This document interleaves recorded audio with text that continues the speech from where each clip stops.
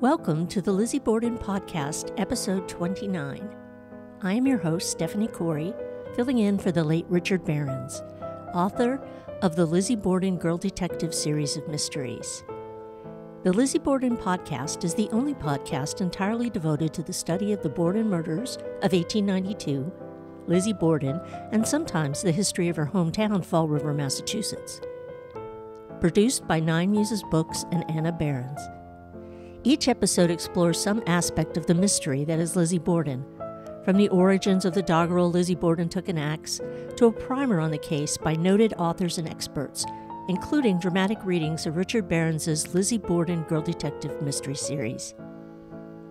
In this episode, we present part two of our interview with Dennis Binette, co author of many of the books published by the Fall River Historical Society, including the Knowlton Papers, Women at Work, the Fall River Discourses series, the Knowlton Pearson Correspondence, the Jennings Journals, and Parallel Lives, a social history of Lizzie A. Borden and her Fall River. From his many years as assistant curator of the Fall River Historical Society, Dennis is an acclaimed expert at research and sourcing information relating to Fall River history and the life of Lizzie Borden and the Borden murders.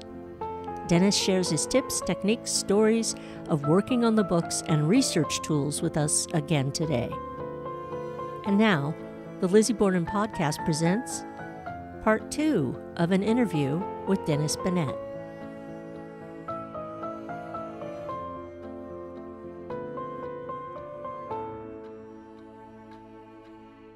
Welcome back to number two of the conversation with Dennis Binette from the Fall River Historical Society. To remind everyone, Dennis is a native of Fall River, and many of his earliest memories involve the enjoyment of or acquiring books. Very fortunate to have grown up with parents who encouraged his intellectual pursuits, Dennis eventually discovered the Reader's Guide to Periodical Literature, which became one of his first favorite research tools. With a background in English literature, along with photography, film studies, and filmmaking, Dennis's early career experiences were not in any of these fields, rather, dealing with banking, database management, and financial analysis. Oddly enough, these areas often required fine problem solving techniques, which, in a sense, is the heart of intensive research. Over 30 years ago, Dennis made his first connection with the Fall River Historical Society, where he soon joined the staff and was appointed assistant to the curator Michael Martins. Together, the two would research, edit, write several publications, the first of which was the Commonwealth of Massachusetts versus Lizzie A. Borden, the Knowlton Papers, 1892 to 1893, which was the first collection of primary source material on the case, appearing 101 years after the trial. Most notable of their collaborations was the monument to their research skills, Parallel Lives, a social history of Lizzie A. Borden and her Fall River. Currently retired, Dennis works with the Fall River Historical Society as a consultant on various research projects and is also involved with various projects in the publishing world. He resides in Massachusetts. Welcome back, Dennis. Thank you. Thank we, you. We had a lot of positive feedback on your first appearance. Actually, it's not really an appearance, it's your audio self audio-ness. Audio appearance. Your uh, audio yeah. appearance. Mostly notable, everybody liked your voice. Well, I'm glad they do. well, it's much better than mine, that's for sure. So we left off last time. We only ended up talking about the Knowlton Papers. right, right. And so the next book that you worked on at the Society was the big one, considered the big one. The big one, Parallel Lives. Because it's not, not only is it very long, but it required the most research most intensive research project you've probably ever done there. Parallel Lives was a was a ten year project and definitely became much more involved as it went along than we anticipated at the very beginning. In that respect, it was a constant surprise uh, because we managed to uncover uh, a wealth of uh, primary source material and personal material about uh, Lizzie Borden, the woman, and also um, it was the first time that we could actually collect, assemble, and make available a large collection of social historical tales that had never been told or never been put down on paper. So, all in all, it, it, yes, it's a Lizzie Borden book, and yes, Lizzie Borden is in the title, but the book stands as the first social history of the city of Fall River.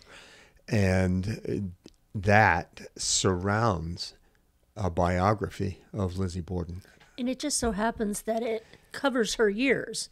So it starts in like around 1860, a little bit before then to this, you know, the setting up of the city. But it the, the social part of it starts like around 1860 and then goes to her death or right after her death into 1928 with the Great Fire, where Lizzie died in 27. So, but her life encompasses this story. Right. Yeah, and that's where the title "Parallel Lives" came from. And uh, when Michael sat down with me and and we tried to uh, come up with a scheme uh, for what this book was actually going to be, because we knew what we didn't want it to be. It wasn't going to be a whodunit.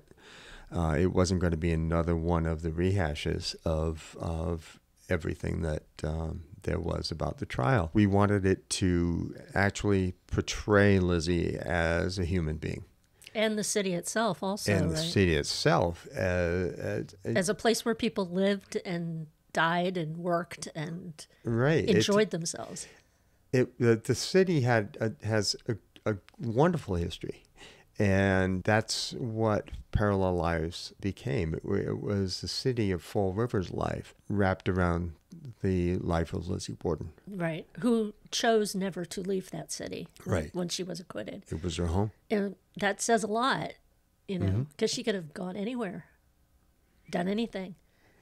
She could have gone to Paris and been a cause celeb. I mean, Josephine Baker did that, right? well, yeah, All the kind of naughty ones, all the infamous people went to Paris. know, just what you've been through I- mean it's people just want to meet you at a cocktail Right. cocktail party you know well it was always said that she was a very good conversationalist so i'm sure she would have made out fine in that respect Well, why did you encounter anybody in your travels who had had conversations with Lizzie Borden? Yes Okay, now let, we'll get to that in a minute. Mm-hmm. But how did you? I mean, you have at the society resources, gazillion resources. You have, you have name files, which we talked about before. You have newspapers on microfilm, although back then you didn't. right, You had to go to uh, New Bedford Library and you had to go to the Fall River Public Library. right. You had city directories. You had famous men and women. No, sorry, not women. Who they didn't care about. There were no famous women No. in the 19th century. uh, famous men of uh, Massachusetts, uh, prominent men of Bristol County. You know, so Right. you're getting biographical information about people. But the day to day stuff i- is that kind of a combination of newspaper and personal stories and oral histories that the Historical Society already contains, like diaries. Now we're talking about the social history of Fall River. yes, the social history. Okay, yes. Um, that is a conglomeration of, God, any number of things that we had access to uh, through the Historical Society's records. There's a huge collection of scrapbooks there. And uh, it's interesting to see what people pay attention to and save. Of course, a different person is going to save different articles about different people. So there's a tremendous resource there. We have papers that were written by various members of the Historical Right. Society that are all on file. Some of those we've published. We also have diaries, letters. So, correspondence and diaries of people you may not have checked out before Right. as connected to this story. right. And, and you don't know what you're really looking for sometimes until you look for something and you find something else. Okay, that was my, Does that, was- make any sense? That was going to be the thing. Like, how did you know? I mean, I figure you know that it's a history, so it's got a beginning, a middle, and an end right. in terms of its scope and chronology. But the people you included run from the upper class, the mill owners, down to, and I don't mean down as a negative way, but it is below the hill. So we're talking about people who worked with their hands, barefoot in the mills. Mm-hmm. You know, so you've got this wide range of stories that are being told. It's not just the rich folks, you know, the the the gentry, the the money class of Fall River. No, No. it's it's every story. It's every story, and uh, it's amazing what you find. Uh, there were some heartbreaking stories. Oh yeah, Uh, there was uh, the story of Ellen Dunn. Yes. Uh, she was a woman that lived off of Bedford Street in a tenement, and um, Eight and a half street was it? six and a half. Six and a half. Six and a half Street, who went into a drunken tirade and screamed out a third story window that she was going to throw her baby out to the crowd. All the people from the neighboring tenements were out there and they were all horrified by what was going to happen. Her poor 12 year old son was there and couldn't do anything. And she hurled a baby out of a third story window. Caught, right? Sort of. Uh, she was arrested. No, but the baby was sort of caught. the baby it- died. Yeah, but Yeah, it, the baby horribly uh, bounced off a banister. that's right. and uh, hit the ground, and a woman uh, brought it to her apartment. And of course, the first uh, thing that they could think of to give the baby was brandy. But um, it uh, unfortunately passed away. Ironically, or oddly, um, I should say, when Michael and I went to Superior Court and had the docket pulled uh, and read what actually transpired at the trial, the judge threw the case out of court. Why? We have no idea. She w- she never served a term. Oh, At all. wow. Wow. So she was never convicted on the murder of her child. No. It was one of those moments where, uh, yeah, yeah, I mean, you get to the end of the research and y- your whole insides just go, "Ugh." They put people in the hoosegow for uh, being inebriated. Yeah, You know, you drink too much, you pay a fine, and if you can't have the if you can't pay the fine, you go to jail hmm for several days or a week or a month, often a month. But she served no time. no time, no. That's weird. Must have been a backstory. But but there were there were any number of of, of stories uh, that little snippet articles that uh, show up when you're looking for something else in the paper. The two-headed baby, the man, the father who was selling uh, tickets.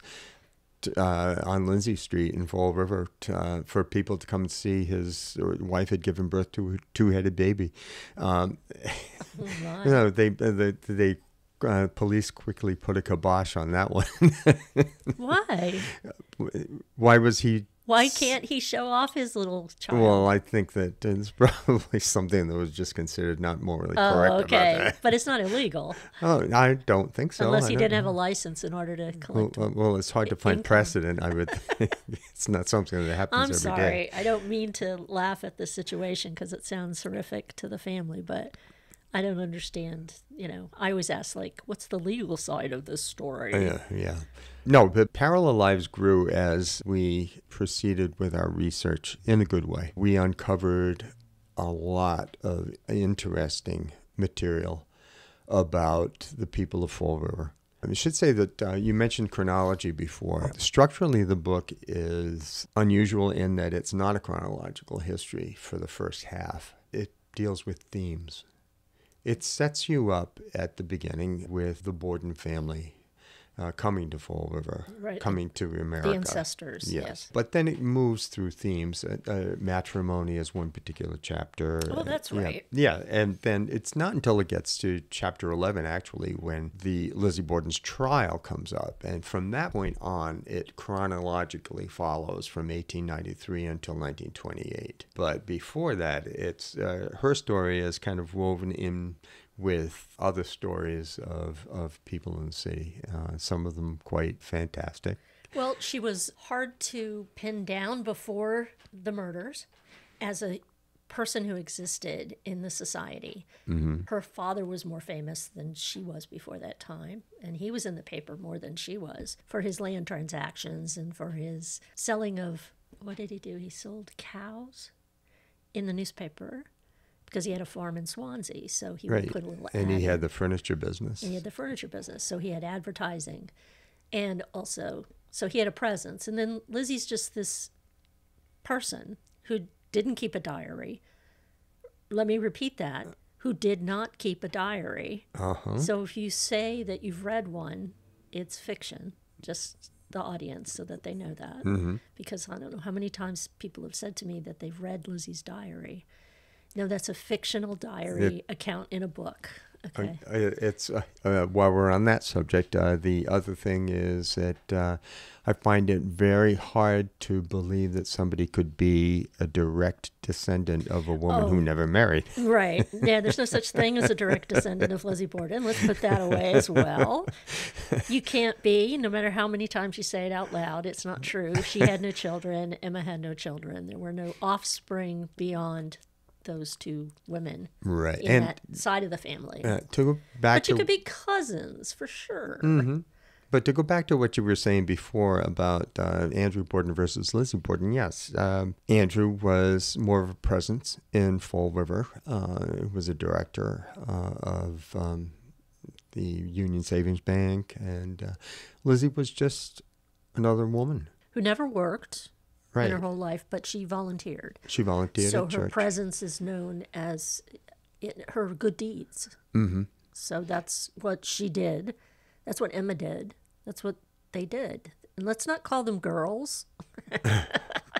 They're grown women. Yes. Emma's at the time of the murders is 40 and Lizzie's 32, but they always called them the girls. Uh-huh. Always it rubbed me the wrong way. It's like cuz I you say girls and you think 12-year-old, Uh-huh. you know, before puberty. Anyway, so parallel lives. Okay. How did you know who to contact or to try to contact when it came to Lizzie and your research? Because all of this in here is new, except maybe the the case itself, the crime itself. hmm Everybody knows about that and has read about that. There's nothing spectacularly crazy new about that. What's all brand new about Lizzie in this book is her childhood, her teen years, her education, and then what happened after, including very big detail how they picked a house to live in after Second Street and those kinds of things. But how did you flesh her out?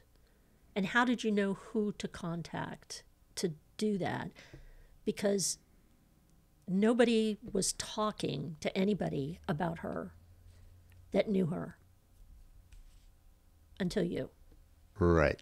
I was the new kid on the block as far as uh, the historical society was concerned because Michael had been there for years and years before I came on board. He knew, he was aware of various people that factored yeah. into the story that uh, could be contacted. That was the starting point. So he knew descend he knew descendants. He knew descendants. And uh, so that became the starting point. Through that and through research uh, into other aspects of her life, and I'm talking especially after uh, the acquittal, little hints uh, appeared here and there, to, uh, points to follow up on. And there was a Washington, D.C. connection. Why? And then so then we uh, found out about some people down in the Washington D.C. area. Okay, that's an avenue to, to track. Her doctor, her personal doctor, was from Nova Scotia. She was in Fall River, returned to Nova Scotia. Okay, there's another path to follow. Descendants of people or people that were connected to those that were members of Lizzie's household again or staff another avenue to follow so it was just it, it was basically trying to zero in on these people and figuring out how to zero in Did you take the will, the well, And yes pick it apart, and try to find people that way? yes but that was not a, a, a, a first go-to Oh wow. Uh, okay. No, not uh, that is for a lot of people and has been for a lot of people, but that was not the first go to because there were so many other avenues to pursue. Well, in thinking of, you said, uh, anybody that would have um, had a conversation with her, yes, we did meet the last person that we knew of that was alive that had known Lizzie Borden. She has since uh, since passed, but uh, she and her husband were gracious enough to have Michael and I into her home and their home, and she had some stories to tell about Lizzie and picnics that um, mm. they went on. And it was through that family that we received uh, photographs that appear in Parallel Lives of Lizzie on a Picnic, which is a whole different side. Um, and that was that, that that was the pleasure about of working on that book was that uh, we weren't like I said we weren't trying to solve who done it. We were trying to find out about a woman uh, and find out things about her character and her personality that uh, never ever were known before. Right. And the interesting thing uh, that I think says a lot about the people that we dealt with is that they, in many cases, are sitting on tremendous primary source material, actually, uh, that have to ha- has to do with Lizzie Borden's life, personal life. And they are hesitant to talk to people because they've seen what has been done in the past. Mm-hmm. And they are very careful and they take uh, great pride in having the things that they have because and this is what I really admire about these people they love Lizzie Borden as much as their ancestors do. And they honor her memory the way their ancestors would have wanted them to. They're not selling things off to cash in on Lizzie Borden. That was a part of their family and their family's history. And these are the people that came forward for us. And well, I. Because it was the society, for one, because it was a reputational your reputation preceded you and your fairness and the idea that you were writing a non-judgmental book about everyone in it you know right. there's no judgment against, against or for anything you don't solve the case you don't it's it's a part of the story it is not the story and it's not what the book is about so for people to open up to you finally that never wanted to talk or never was were asked to talk before about it. Mm-hmm. It seems reasonable that it would be the society that gets that that entrance, that opening of the door, because of your reputation preceded you through that door. As a as a it wasn't some somebody saying I'm writing a book. Can I talk to you? Right. And uh, well, there's one instance that actually you um, yeah you kind of witnessed at the tail end, uh, and that's where we uncovered um, a family that had some correspondence. The woman, I think, was a great niece of of uh, someone that was mentioned in the book, and um, uh, she said, "Oh, uh, oh, yeah, yeah, I I have a couple of letters." Uh, uh, from Lizzie Borden that were sent to uh, w- one of her ancestors. And she said, next time I go to the bank, I'll get them there in a safe deposit box. Oh, okay, fine. So um, day came around that she came into the Historical Society and um, met with Michael. And I was on the other side in the office. And basically, she had a Ziploc bag with a couple of letters in it. And then um, Michael was, ooh, ah, you know, the, these are great. And um, she said, and I think you might be interested in these as well. And she had a tote bag with letters on it and um, no, in it.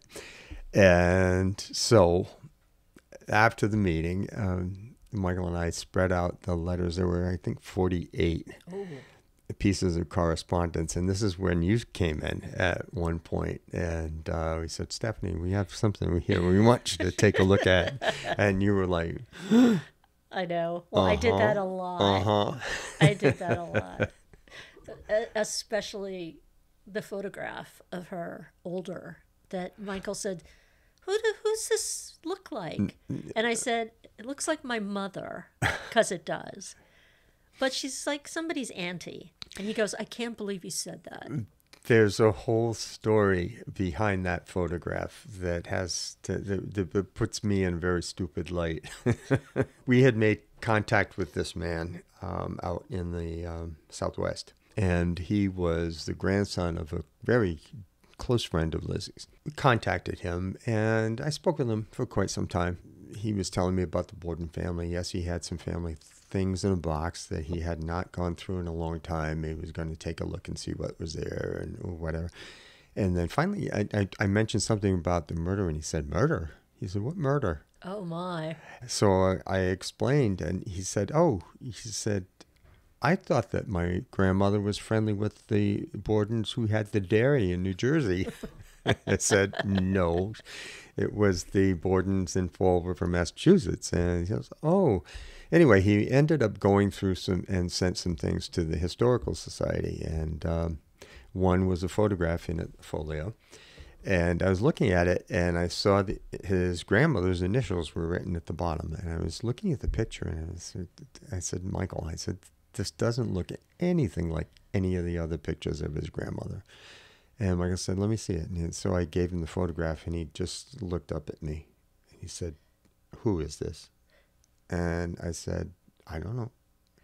And he said, who, what is this woman sitting in front of? And she, it was a woman in a white dress holding a Boston Terrier, sitting in front of a fieldstone chimney. And I said, Oh, a Maplecroft's chimney. And he said, Right. And so then we looked at the face and, oh, oh my God, yes, it was Lizzie Borden holding old one of her dogs. Yeah, little old lady. Yeah, with white hair. As it happened, we came across the same photograph through a different family that was not connected at all with the family that had provided the photograph for our collection. So every time you turned a corner, there was one week, or well, a two week period, I would say, that almost every day when we went into work, there was either a message from someone on the phone or something in the mail that had to do with more info for the book. Oh, to be a fly on the wall. I remember he said, you know, and I said, he goes, uh, why did you call her auntie? I go, I don't know. It just looks like somebody's auntie. And he goes, as a matter of fact, she was known as Auntie Borden. Auntie Borden. And I was like, no way. I got that right, right, right off the bat. But she did look just like my mother. the, the, the but little like sweet things um, uh, having to do with character. The, this this collection, this particular collection of letters, uh, several of them were written to uh, two little girls, Anna Victoria and Olga, two girls of Swedish descent that Lizzie had befriended. Birthday cards that were sent to the girls. And it was interesting because it says something about Lizzie. Uh, All of the birthday cards that the girls had saved were sent special delivery mail. So when you think about that, it's okay, the doorbell rings and it's a mailman, but it's not a mailman with a bunch of mail for the whole family. The doorbell is ringing just for that one little girl on her special day. And that's how Lizzie treated birthdays for the for the, the little children in her life. So, do you think that comes from a person who celebrated her own birthday as a child or didn't celebrate her own birthday as a child? I would almost say didn't. And that's just an assumption. But Because we don't know if they celebrated holidays, Christmas, Thanksgiving. Uh, right, right. We don't know what their own holiday life was about. Or, like I said, nobody kept a diary in that family. So they couldn't Mm-hmm. write down what they did that day. No, and and it's it's difficult to picture Andrew Borden coming home from work on Christmas Eve with a Santa hat on. You know, things like that. Well, You oh, come on. Ebenezer Scrooge, it worked out just fine but in uh, the end.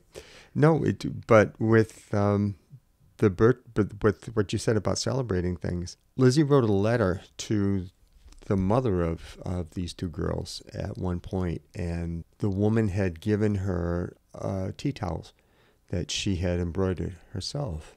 And Lizzie sent a note thanking her, and she said, "Please, you don't have to give me anything." She said, "I just enjoy giving to you." So I think that that was where Lizzie had her joy was not in the receiving. No, no, I didn't think that It was definitely in the giving. yeah. Well, she was a, a benefactor for many people, and in some cases, college education. Yes. You know, a, Yeah. a medical degree. uh, and um, an architectural uh, Mm-hmm. degree in one case. And little known fact, we found out from um, the McFarland family. That at Adams Bookstore, which was a very popular bookstore and stationer in Fall River, Lizzie sort of had an account with them. And if they knew of anyone that could not afford books, that Lizzie would pay for them for anyone that could not afford books that wanted to read. Oh, wow. Well, that's kind of cute. I like that story. Yeah, it just, so it's it's amazing what you find out if you go poking around and looking. Right. And uh, fortunately, we had the umbrella of the historical society to kind of rest under and uh, do our research. The last person that was alive when Lizzie was alive. See, I should have been there because you never ask the questions I want to know. Like, why I wanted to know was what did her voice sound like? And when she moved, did she waddle? Did she glide? Did she dance in small steps? You know, did she skip around? Did she have a sense of humor? Did she laugh? What was her laugh like?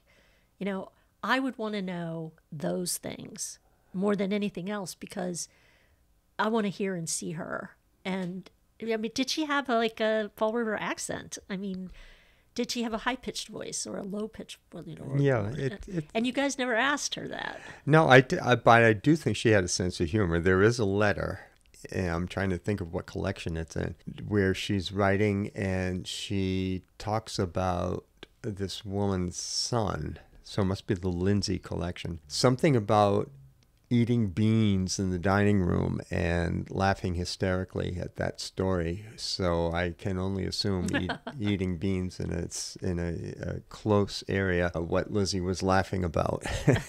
but so that would would would lead me to believe that yes, she did have a sense of humor. Okay, but th- there are very few points of that because she was guarded, right? Mm-hmm. She was very proper in her own way.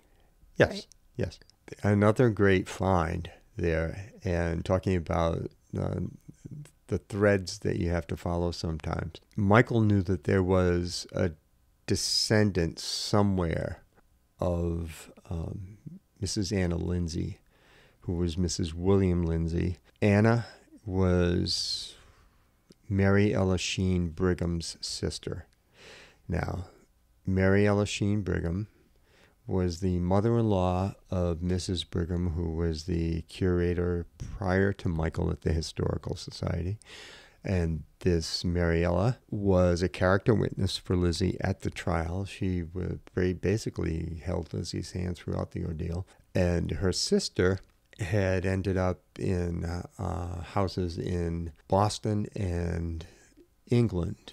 Her husband was very successful with a cartridge belt that he invented You mean for bullets? uh, for the war, uh, for the first war. The grand the granddaughter w- was in Italy, in Rome. That's all we knew. So Michael went back looking through papers, papers, papers, and found her name and a street in Rome. Now, having had experience with the Italian post office, it's not known for being efficient. Uh, so Michael dashed off a letter to this woman with her street name and Rome, no postal code. In it was a letter including his email address, and believe it or not, within a week he had an email from this woman.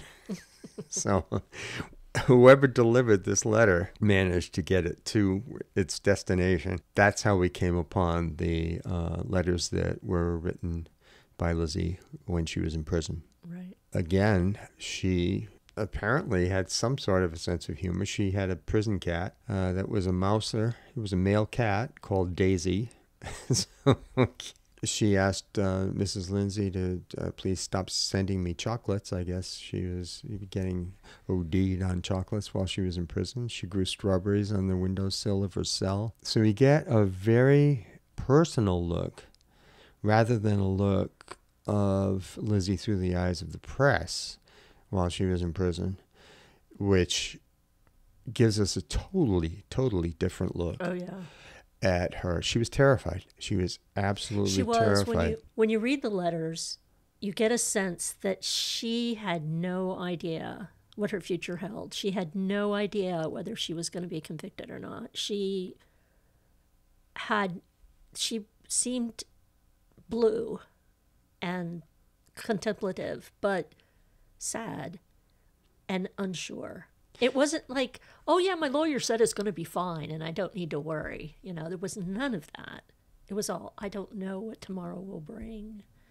Mm, I don't know how this is going to turn out. It's uh, there. Uh, there are a few instances in the letters that uh, really g- uh, give you a, a look at her mindset at the time. Uh, one was that she confesses that her attorneys don't even give her any hope going forward uh, as to what would happen. The other thing is she felt like she was at ebb tide. And in another letter, I feel like they're going to be soon bringing me down the street to the lunatic asylum. So that's the, where uh, she was mentally uh, while she was in prison. The papers that she would was cold, that she was unemotional. Uh, Right. She was terrified. Yeah. She was. I can imagine. I mean, I can't, but I can. You know, I can pretend that I can feel what it must be like to be alone. Now, your sister's coming to visit you frequently, and you've got your minister coming to visit you, and your lawyer mm-hmm. is coming to visit you, and and it's it's not your food is being provided Yeah. locally instead of prison food. So she had some uh, benefits to her class. And she also had um, a benefit in that uh, Sheriff and Mrs. Wright, who he was sheriff of Bristol County, and his wife uh, was the prison matron. Hannah was that her name? Uh, I can't remember what her first name No, was. that's Hannah Reagan. That's the one Hannah- from oh, Fall no, River. Yeah, she was from Fall River. Uh, but anyway, the Wrights had lived on Ferry Street when Lizzie was growing up, and they had a daughter, Isabella, Lizzie's age, who was a playmate of hers. So when uh, Lizzie pulled up in the carriage at the prison, Mrs. Wright and the sheriff greeted her, and Mrs. Wright burst into tears and said, "Oh, Lizzie, Lizzie," and took her and hugged her. Now, that is not the usual treatment that you're going to be getting from a prison matron. So, when Lizzie again came down with bronchitis after having gone to New Bedford and staying in prison there during the arraignment, Mrs. Wright took her into their household until she was nursed back to health. So she was cared for uh, very especially when she was in prison. Uh, It's the same old story. Those that knew her loved her. Though that knew her from when she was a child to when she was older, who physically, emotionally knew her through friendships, through relationships in her household, and the numbers of people she employed in her lifetime. Uh, those families speak only positively about her. there was a family, a sh- one of her chauffeurs, that uh, his family was in Portsmouth, Rhode Island, and uh, again, these little things that you find out. Um, when Lizzie used to travel to New York or Boston, she would go to SS Pierce because this chauffeur, Norman, I think his name was, liked these certain types of nuts that SS Pierce sold. And she always, every time she went there, she bought him some nuts. And when she would go out and visit on his farm in uh, Portsmouth, she would play with the children there. The children loved her. They absolutely loved her. It's so it's the, the, the whole thing is such an enigma. It is. It really, really, is. when you look at it, look at the person, and you look at the circumstance that she became enwrapped in, it's it's uh, uh, it's amazing to try to reconcile one with the other. It, it really is. Not to say that she was innocent or she was guilty, uh, but to try to put a, the person that you've come to know in the position that she ended up being in at 32 years old. She was taken advantage of after the fact. We know that. Nance O'Neill, there's such a big deal made out Oh, of. Oh, of the my relationship that it was probably about three months long. It was also financial. It was financial. Uh, because she hung out. I mean, her producer was McKee Rankin, and he was so famous for glomming onto rich people and being entertained by them because that's where he got the money to fund his productions. Right, and M- McKee Rankin's uh, collection, his papers, are at some university in Texas, I believe. And there was a letter there, Austin. Austin, and there's a letter there uh, from Ricka Allen, who was an actress in one of Nance's troops, or in her troupe. The letter says it's uh, Ricka writing to Nance, uh, "Can I have the money you owe me?" uh, because Miss Borden wants her money, and I've already sold all my jewelry, so I don't have any recourse but the money that you owe me to pay her back. Right. And we know from other circumstances that uh, you did not cross Lizzie Borden. She would give you anything in the world if you were loyal to her and you gave her the love that she gave you in return. But that didn't make any sense. No, it does because you're talking no, about no. The, somebody the, being. the way I said that. no, it's Wait, about wait, wait. No, the it- money. yeah, but yeah, Don't, was don't mess with money. Uh, you know? yeah, and it, it was the same thing she, where she to, she let a chauffeur go because his wife had used Lizzie's name to get credit to buy furniture, and then welched on the loan, and they came to Lizzie to collect, and there again, it's if you're going to use Lizzie's name as a reference, then be faithful to the commitment that you've made. Um, so you've got these little bits and pieces, like Luli's diary. priceless priceless She presents herself full, full bore. She wrote everything down as best she could remember, and she went and did things and partied and socialized and had a like a coming out party. And she had Luli was a hell of a kid. Yeah. And, and she went to school with Lizzie. with Lizzie, they walked together. right. And they they well the this is the first time that we get a picture of Lizzie Borden hanging out at the Borden house with her friends. Um, in the diary, Luli, Lizzie, and Rachie, who was Andrew Borden's uh, business partner, Almy, Rachel Almy's, uh, uh, Williams uh, Almy's daughter was Rachie. That's what they call her. And they were just hanging out at the Borden house. Uh, so it's like, you know, Bridget comes in, hey, you guys want some lemonade? Or, you know, Well, I think she'd say it with an Irish accent. uh, yeah, well, yeah, well, I, I, I'm not going to fake an Irish accent because that might be something like a Welsh thing. you want some lemonade now, girls? No, so anyway, a lot of little looks at Lizzie as an adolescent, which no one ever knew anything about. No, there were a couple of important stories actually that taken by themselves and inserted into what we know about her now. People go, "Oh, that's it." You know, that's what happened. But it's not. It's just a statement by her friend describing why Lizzie didn't want to go out that day. Mm-hmm. You know, she was feeling blue. Right. A great word. Yes. because her jail letters feel that way. Mm-hmm. And there's no doubt that you think, well, if she wrote it down, it must be like a more common occurrence than a rare occurrence. You know what I mean? So perhaps she was blue and perhaps she had some depression in her life. It's possible. We'll, we'll never know. Oh yeah. But the blue but she's a, a teenage girl. yeah, exactly. you know, and then the other thing where she said she fell off a horse. Yeah.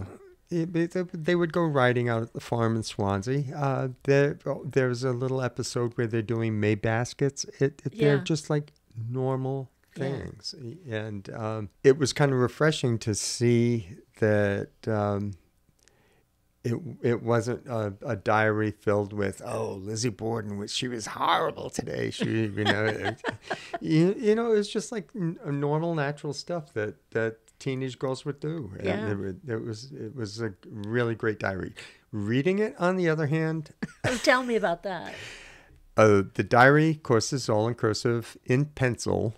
Uh, Luli was not extremely fond of punctuation.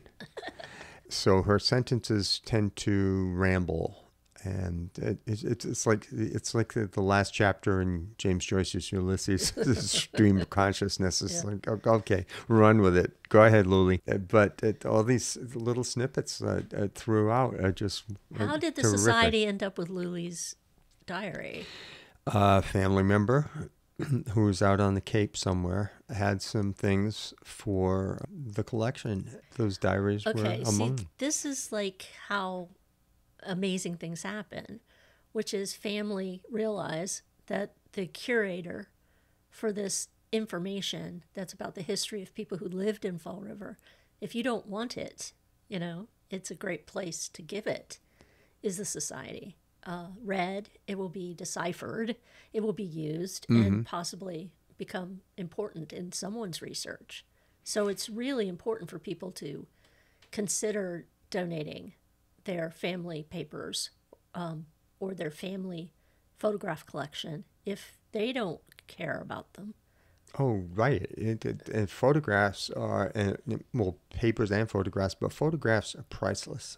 They are really priceless, especially, and, and people don't think about it, but snapshots. Snapshots, when if you're out on the street, uh, like the neighborhood I grew up in, I, I have some snapshots of like me or my grandmother standing out on the street, and there's a couple of uh, six family houses behind her, and it, it's a tenement street but okay, we know what street it is.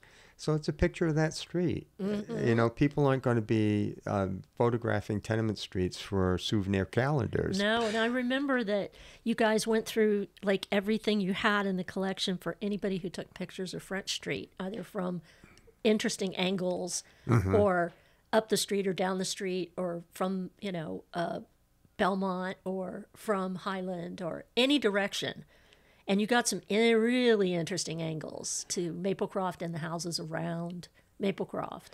Yeah, but in, in a lot of cases, because they weren't pictures of the house. Right. It was the picture of the person Of who was standing in front of that. Yeah, or next door or whatever. So, yeah, yeah, it's fun trying to piece it all together. Oh, but- and then you have some like fabulous photographs from the trial itself. I mean, I know you don't go into you don't spend a great deal of time on the murders and the but you do spend an okay amount of time on the trial. Mm. And you had access because you are the keeper of the trial exhibits donated by the Waring family, descendants of of Andrew Jennings, mm-hmm. who was her lawyer, who at the end of the trial, the police weren't going to prosecute anybody else. They weren't looking for another killer. So they the prosecution said we have no need for these photographs and for this, you know, those ground plans and all the evidence that was presented at trial, including the handleless hatchet.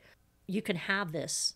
And so Jennings goes to Lizzie and go, we have all this stuff. What do you want me to do with it? And she's like, I don't care. It's kind of the answer. And he saved it. And he saved it all. Everything that he could. So the Historical Society's base collection of Lizzie Borden items that are connected to her come from the trial and her ordeal there. So you've got photographs, you've got the neighborhood, you've got the interior of the house, you've got they're not crime scene photos because they were taken so much later that day and they were repositioned, but you have the bedspread that was on the bed upstairs that Abby has still has Abby's blood on it, and you have the hair switch that was caught off her head, and you have the handleless hatchet, and you have all of these important scientific things that they also used back then.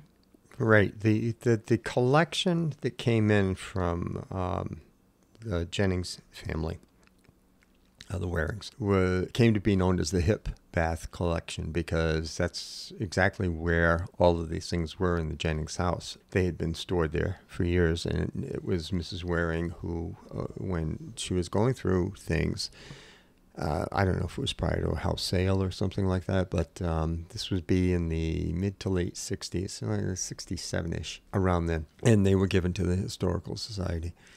And um, the transcripts from the preliminary trial, from the um, inquest, also copies of those, um, and photographs. A very interesting collection of photographs also uh, that became part of the defense's exhibits were uh, pictures taken by Arthur Phillips, who was an attorney on the defense team. Also, later in his life, came to write uh, a History of Fall River, which is a, a go to three volume set of history. Fascicles. Fascicle one, two, and three. Fascicle. Yeah. Never heard that word before or since. But these photographs, they're so distinctive because on in the mat, uh, very thin mats, in Phillips' beautiful cursive writing, uh, the descriptions of exactly what is in the photograph. He's actually the one who took the picture that's shown up uh, here, there, and everywhere of the f- closet in the front hallway Yeah. of the uh, Borden house. How about the outside of the house? From the street, Mm-hmm. from up street and down street. Yeah, showing know- you the get to know neighborhood the neighborhood and the ruts in the road and Yeah. the tree that's in the in the road. and the Chinese laundry The across Chinese the street. laundry, you know, yeah, yeah. it, it's uh, it. They're perfect atmosphere photographs. They really are, and they and the barn and the backyard Mm-hmm. and the side yard and the yards behind those yards right, and the, the crow's yard with the all of the uh. Yeah. stuff all over the place. Yeah.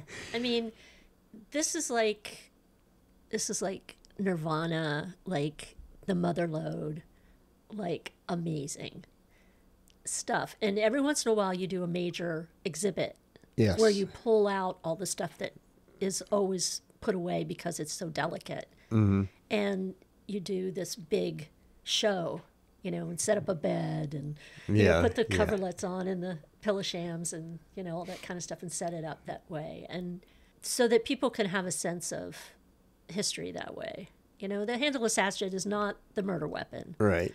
but it was presented as if it was like the murder weapon in the same size. It was the right size and shape, Right. basically, because Draper fitted into uh, the openings as, and, and that's uh, was a swoon moment for Lizzie at the trial, was when uh, Draper did that.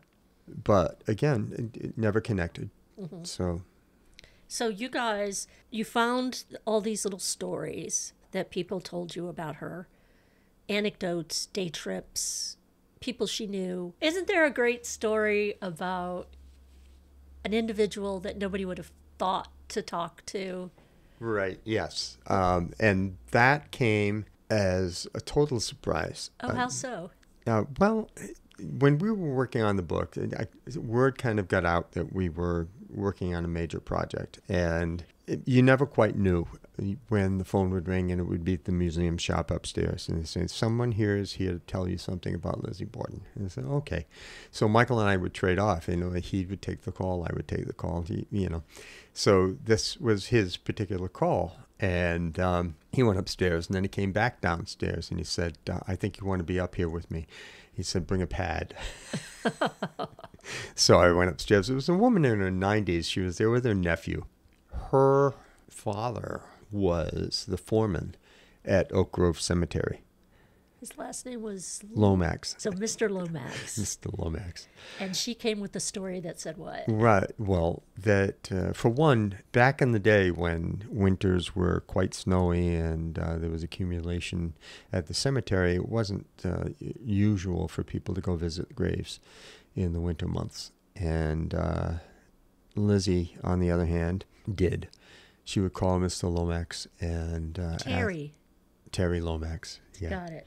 she would ta- call him and ask him if he would please shovel a path so that she could visit her father's grave. And he would. And he would escort her there. Whenever she went, he would escort her to the grave. And people, of course, would be hawking, you know, behind gravestones. And well, Leslie Borden's over there. She's going there to see the father's grave. He'd tell her, Miss Borden, he said, don't pay any attention. He said, You're here for that reason. Just do what you're here to do. And then go home. And that was it. And that's what she did. And he watched out for her. And his daughter told us that story. And that was one. that was a good one. Kind man, Yeah. yes. And he ended up uh, get, being the recipient of a gift, I think. Right. we- And then he, the, the gift, the family gave the gift. It was uh, a cut glass, um, not um, press glass punch bowl set.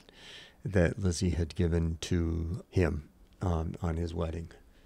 And uh, that is now in the collection of the Historical Society, as well as a set of berry bowls that were given to Luli and her on her wedding. It's hard to know how many of these events she actually went to or if she didn't attend. Oh, I was thinking that she didn't attend and she just She sent would a just gift. send gifts. right. Yeah. Because she doesn't want it to be about her. hmm And if Lizzie Borden showed up at my wedding and I'm the bride, I'd be like, listen, I'm the star.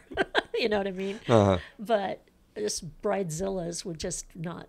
She probably just politely declined to attend. I would, I would think, and then send a gift.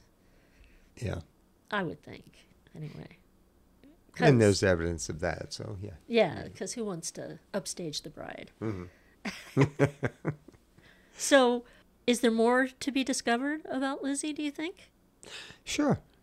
In what areas? What ways? Uh, You said that you saw things that people had that you didn't get, right? no, So there were some things that, that, some things that that we were out there. allowed to use. We that, that there are some photographs of things in parallel lives that are not part of our collection that um, we were allowed to have photographed professionally. But Michael told me that he saw a collection of letters that one day he hopes the society gets, but Mhm. who knows, which are in effect love letters. That was before my time. Yeah. Yeah. There, it- I'm, I'm sure there are other things out there. But, um, I mean, just because it's not in parallel lives doesn't mean it doesn't exist. It, it's we by no means uncovered everything that is there to be uncovered. Since it took you like 10 years to write and research this book, you have the ultimate amount of patience that is humanly possible to possess. Seriously, because like you said, somebody said, Oh, I'll go look up that. I have a collection somewhere in the attic, somewhere, a box of photos or something. And then you just say, Okay. And you wait for that person to go figure out that they want to go do that. And then they come down. So this takes time to be patient with people. Mm-hmm. This is not mm-hmm. like me going, well, would you have mind taking a look now while you're on the phone so I can see if this is something we could follow up with later? No, you just waited for people to do what they were going to do in their own time. And then things presented themselves. Mhm. Well, most people don't do that. So I think that as a researcher, the level of patience you had with all of the people that you were getting stories from, the delicate way in which you allowed them their own time, their own space, their own way to tell what they wanted to say, and how deep they wanted to go in it. There was never any prying, it was all what stories you want to share. I think that that is unique from what I've read of other researchers who write Lizzie Borden books, you know, we know who they are. They they don't go about with a great deal of patience. They don't go about asking people what they think or what they know. They tell them what they think they know. I think the key, at least uh, as far as uh, what we saw as the key in researching parallel lives, is that you have to be patient. You can't get antsy. You can't pressure out any kind of information because then you're going to get people that are not going to be want to be cooperative because you're annoying.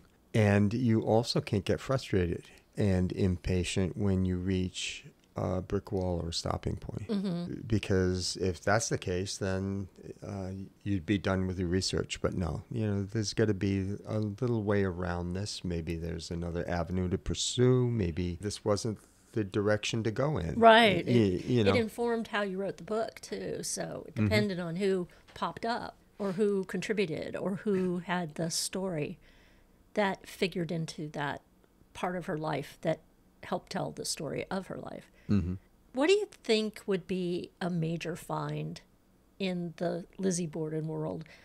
And in what area of her, of her life do you think it would be in? Like the one thing you want to find that you've never found, or maybe two or three that would explain something that's really important for us to understand. Hmm. uh, well, diary. Well, there wasn't one though. No, there uh, wasn't one. Yeah, yeah. August fourth, eighteen ninety two. Dear diary. Oh, I feel lousy today. I feel blue. It's it's hard to say. I I mean, I I mean, her furniture when she died went to an auction. She let her friends take pieces that they wanted. well, there was some. her they- books went one place and then were divided, and her personal possessions were allocated There was an- probably with a, a an addendum to the will. Yeah, there was an estate sale somewhere on on um, Highland Avenue, around the corner from French Street. I think after she died, there could be. uh, Well, there probably are a multitude of things out there Well, okay, it's not going to be stuff that she owned because all of that's been distributed. distributed. yeah, So it's going to be in somebody's possession that they have this thing or these things that are going to tell us a whole new area about her life, right? Mm-hmm. Now, I don't mean, you know, her relationship with Nance O'Neill. I'm not talking No, about that no. kind of stuff, which is very, I don't know, I'm not interested. it's not even worth the consideration for the amount of time that it. so many happen. people place that relationship as the central reason why why Emma left, but the timing doesn't work. No, and and when you look at that relationship, um, it's okay. Fine, Lizzie had a hell of a time for a few months. She went to some parties, and maybe it was totally, totally unlike any life that she had ever lived before. But it was at a price because she was being used financially. Right. So she loaned a little bit of money and she went to some house parties and it was all done. And then when Nance O'Neill was interviewed at one point after the fact, uh, she said they were like two ships that passed in the night.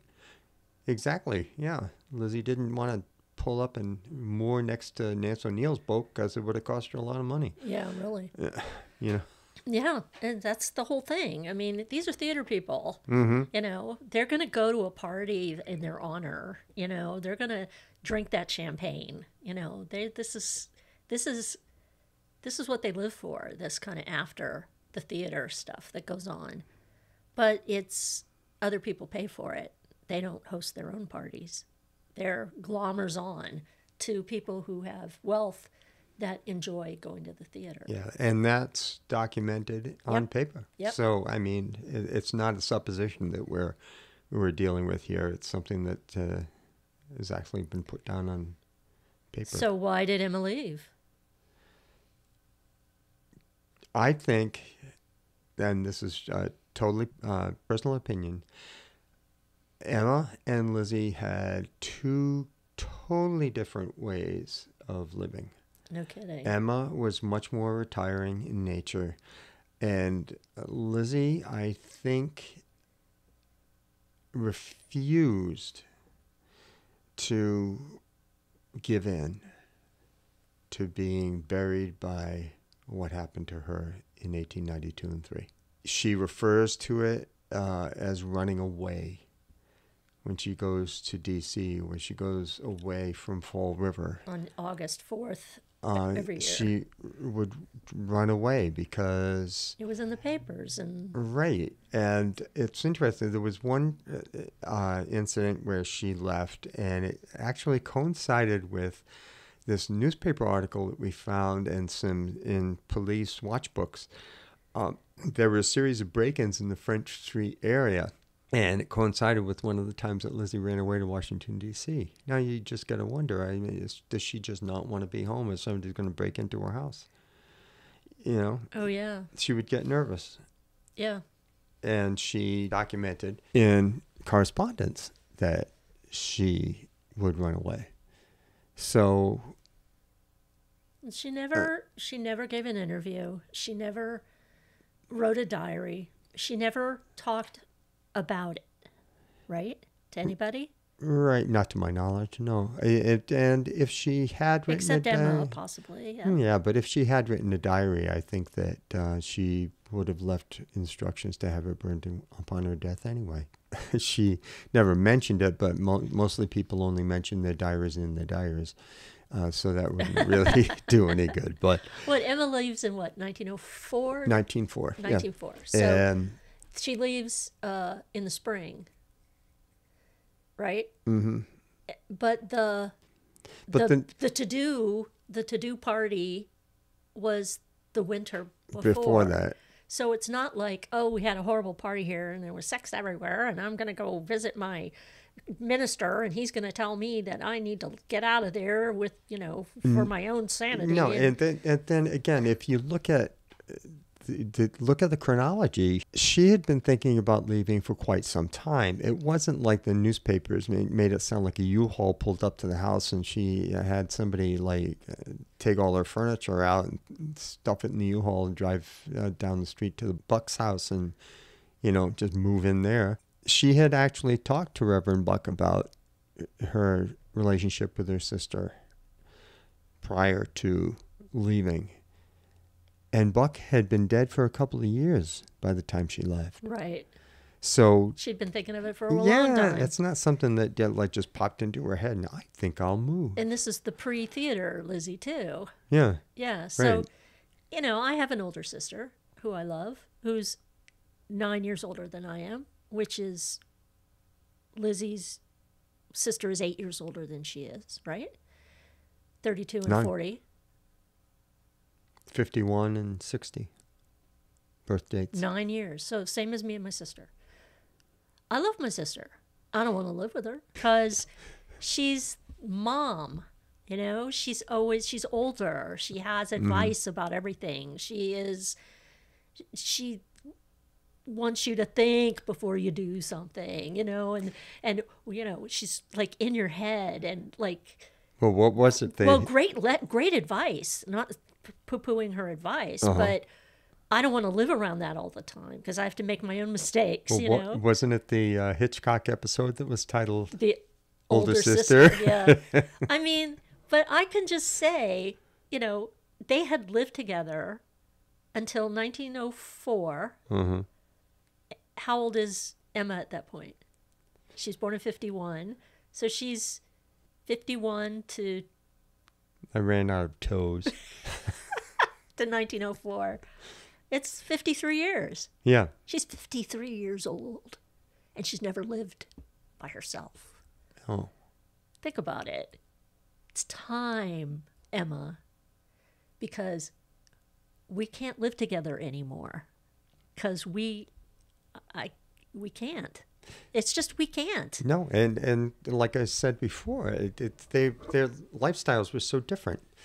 Um, Their friends were different. Yeah, and and Lizzie enjoyed the theater and she enjoyed traveling and we're not saying that Emma didn't because Emma traveled too. She went to Scotland. Emma went to Mardi Gras.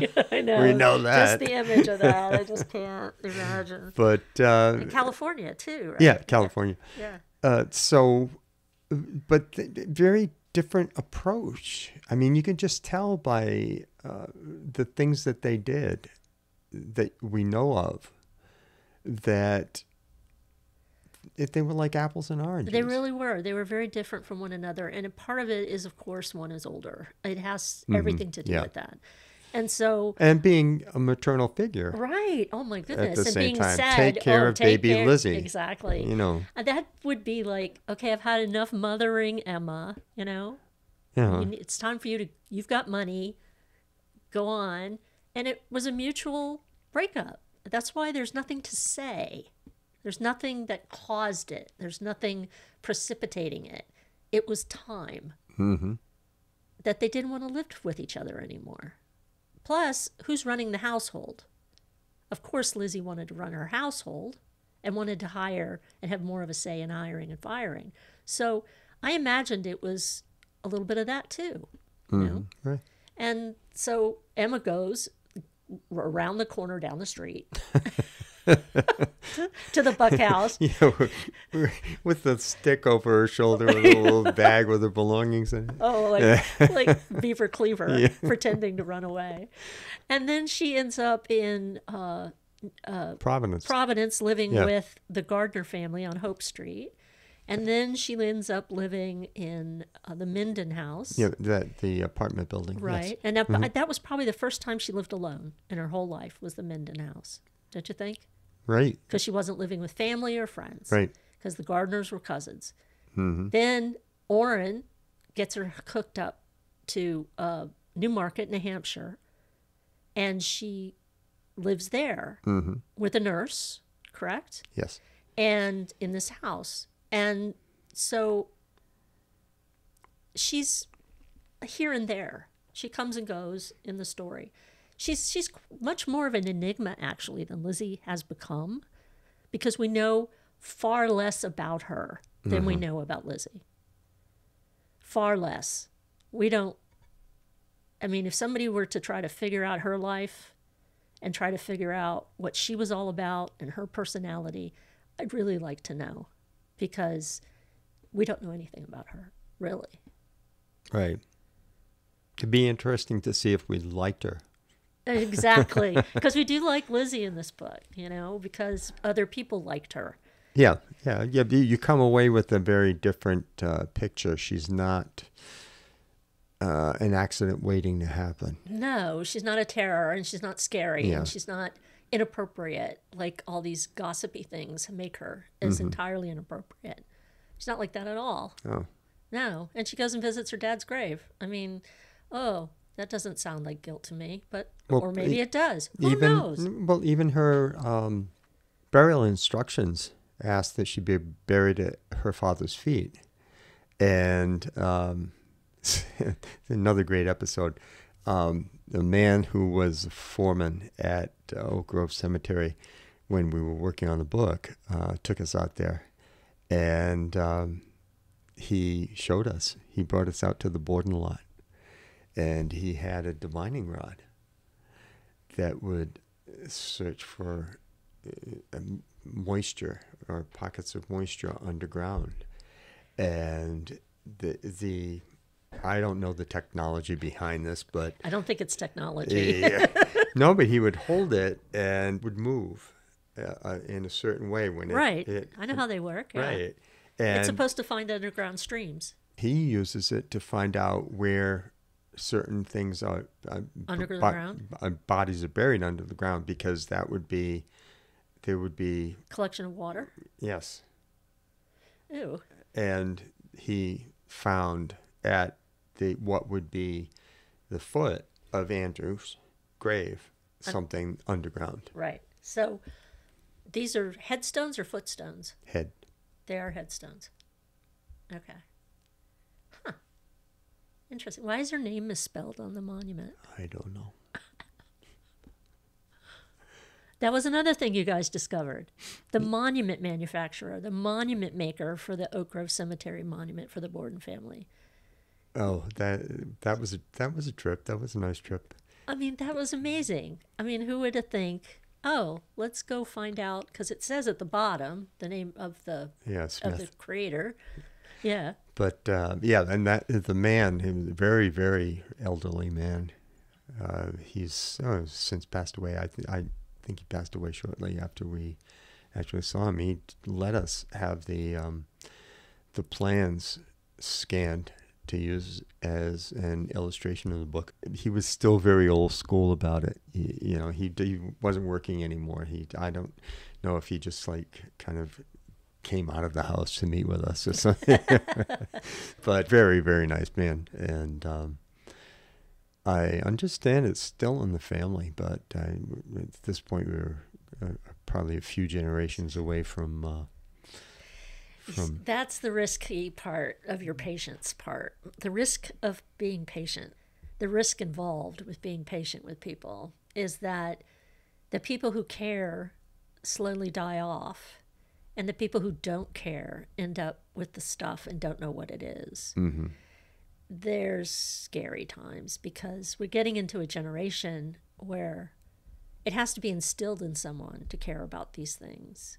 They're not going to naturally care about family history, no matter how many shows are on TV about it. People are less involved in that genealogy of their lives. And I guess it's just a generational thing. People want to know where they came from and who they knew and if they knew any famous people. But Lizzie's story in that regard with these people who maybe, you know, third grandchild, great great great grandchild Mm-hmm. of these people, if they end up with a box of mementos, they don't know what they've got. You know, there's the sadness of it without getting it from the people who know Yes. its value and Yeah. its its importance in history. You know, that's the sad part, but it, that's the way it works, right? Yeah, Uh, the and- police department threw everything out, right? I've only heard that story, so I don't. I, I wasn't around when that all transpired. Michael said they were dumpster diving for Mm. stuff because they were moving from someplace to someplace hmm and uh, from one building to another, and they just had to get rid of everything. And so there you go. I want, I want you to be the, the recipients of more history, hmm not just Lizzie Borden, No, But- no. but everybody has a story to tell. Actually, we never even really touched on the social history aspect. We kind of got off on the wayside from. yeah, but yeah, but it was a good it was a good over an hour now. So that's a good that's a Yeah. good place to break off because and we still have to talk about next the Jennings journals and the Knowlton Pearson correspondence. yes. And then possibly what's in the works in the future, like another 10 years. but next time when we talk, I will have had more of a, of, of a of a hand to play in the production of those works. So I Oh, I true. will have a lot to say about those books and what I went through also as a researcher trying to find out information and how much I look up to you for being able to decipher handwriting. Oh my gosh. Just oh, just one letter. I love You're it though. stuck on I- one I letter. And I, we could blow it up. Remember, I would take pictures Yeah. and blow it up and then send it to you and go, My "What is that? Is that a T or an L?" My favorite thing is when you kind of sneak up on it. You get it like enlarged on your computer screen, and you walk away from it, and then you kind of like take a quick glance at it. And there it is. I know what it says. A lot of times that's with names Uh-huh. because the names don't look real, and then you find out that they were real, you know. But that'll be the Jennings journals. We'll talk about that. But Perfect. I thank you once again for inviting me over and us having this big long conversation about parallel lives. I knew it would take its own its own Mm-hmm. its own episode. And so I guess there'll be a part 3. I guess. Tune in soon.